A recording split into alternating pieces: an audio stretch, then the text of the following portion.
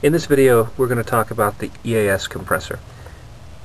Now a couple of sensors interact with the compressor and the EAS computer to determine when it's appropriate to run the compressor. The EAS computer has a pressure switch that it relies upon to uh, trigger the compressor and it also has an overtemp, a temperature sensor that it relies upon to trigger the compressor. Now if either of those two sensors are faulty then the EAS computer will never actually will never actually trigger, will never actually attempt to trigger or run this compressor. The compressor will just simply stay here completely dormant the entire time. Now, um, this is a situation where the compressor is actually working properly. The compressor can be triggered manually. You can trigger the compressor using the uh, fuse block jumper method or the EAS unlock software will, you can trigger the compressor and it runs properly. But during normal operation, what's happening is the compressor is just simply refusing to run. And in this short video, I'm going to show you how to test the overtemp sensor to make sure it's functioning properly and the pressure sensor. If either of those two sensors are faulty, the EAS computer will see no reason to run the compressor and the compressor will just simply stay dormant under normal operation. Okay, now we're going to test the EAS pressure switch. And the pressure switch, like I said, signals back to the EAS computer when the pressure in the air reservoir is above or below a certain level. Now the pressure switch is actually inside the EAS valve block in here, and in order to test it, we're going to have to pull this connector, uh, which is C141, I believe, and difficult to pull. Kind of have to get in there, and there we are. So uh, this lead actually goes back to the EAS computer.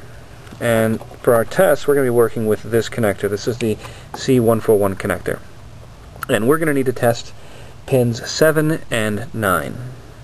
And we're going to take our multimeter, test pins 7 and 9. Alright, again, this is the C141 connector. And starting at the upper left-hand corner is number 1, 2, 3, 4, 5. Next row, 6, 7, 8, 9. So we're going to be testing pins 7 and 9 on the second row. Pin 7 and pin, oops, sorry, pin 7 and pin 9. Now, that is a completely open connection that I have. Remember, if I'm connected, I get a beep. But right now, pins 7 and 9 are open, which signals that the pressure is below 120 psi. And so what we're going to do now is I'm going to manually run the compressor using the fuse box jumper method. I'm going to start the engine, manually run the compressor about 5-10 minutes and see if we can get the state of this pressure switch to change from open to closed. Okay, I've gone ahead and run the compressor manually for about 5 to 10 minutes or so. I did this using the fuse box jumper method.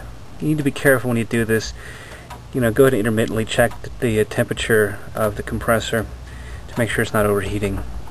And now that I've let it run, we're going to check pins 7 and pins 9. And now that circuit is completely closed. It's a closed circuit now, no resistance at all.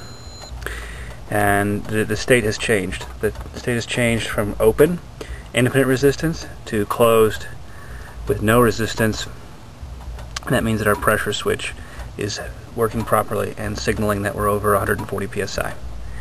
So if it doesn't change state, then pressure switch is broken, or you haven't actually built up enough pressure pressure yet, or the possibility that your compressor isn't functioning at its optimum rate.